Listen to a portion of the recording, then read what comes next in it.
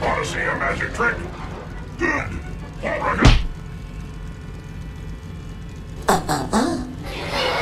Turning the car into oncoming traffic is counterproductive!